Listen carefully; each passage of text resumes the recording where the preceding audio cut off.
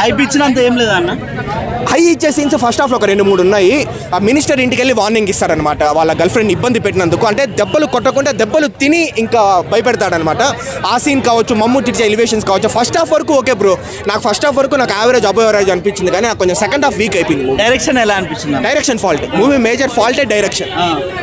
అఖిల్ చాలా బాగా చేస్తాడు యాక్టింగ్ అఖిల్ తర్వాత మనకు మమ్ముట్టి కావచ్చు డినో మోరియో కావచ్చు బాగా చేస్తాడు. వీళ్ళు ప్లస్ పాయింట్స్ ఆ మళ్ళీ మళ్ళీ సాంగ్ మే మేజర్ ఫెయిల్యూర్ ఎక్కడ అంటే మేజర్ డిసప్పాయింట్మెంట్ మేజర్ నెగిటివ్ ఏంట్రా అంటే story regular story direction miss failure songs placement కొంచెం బాగాలేదు సెకండ్ హాఫ్లో బాగాలేదు. ఉండే నాలుగు సాంగ్స్లో ఒక సాంగ్ బాగుంది మళ్ళీ మళ్ళీ సాంగ్ రిమైనింగ్ సాంగ్స్లో కూడా ఒక సాంగ్ సెకండ్ హాఫ్లో రామకృష్ణ గోవింద సంథింగ్ వస్తుంది కదా గోవింద సాంగ్ ఆ ప్లేస్మెంట్ కూడా కరెక్ట్గా లేదు. అన్న రామ్ చరణ్ ఏమైనా ఉన్నాడు అన్న? ఏమైనా హింట్ ఇవ్వడం అట్లా ఏం లేదు, బట్ కానీ మీకు మేబీ ఇప్పుడు ఈ మూవీ ఒక హిట్ అయింటే డెఫినెట్లీ ఈ మల్టీవర్స్ లాగా తీసిండొచ్చు అని నాకు అనిపిస్తా ఉంది.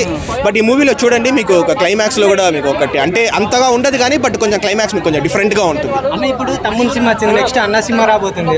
కస్టడీ. అవును బ్రో. నాకు తెలిసి కస్టడీ బాగానే ఉంటుందని నేను అనుకుంటాను.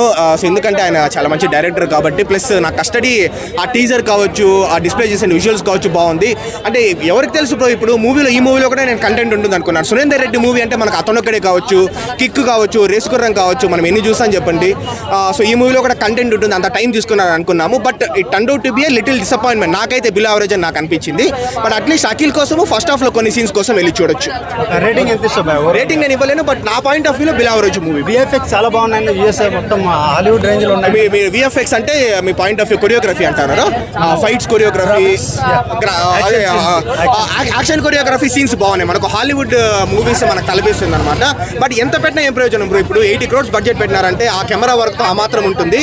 బట్ కొంచెం కాన్సన్ట్రేషన్ మనకు స్టోరీ మీద కూడా తీసుకుని బాగుండేది. థ్యాంక్ యూ అన్న. ఓకే